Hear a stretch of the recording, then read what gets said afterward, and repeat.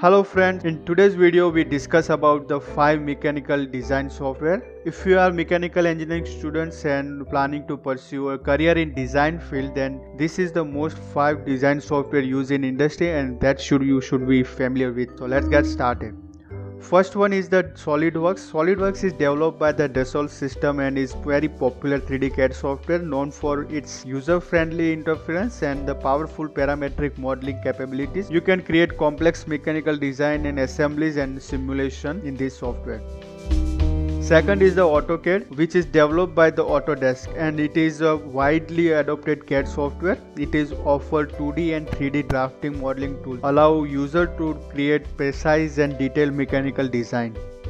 Third is the CATIA. It is a very comprehensive CAD software and product life management software widely used in various industries including automotive and aerospace. It is also known for its robust surface capabilities and integrating with other PLM tools.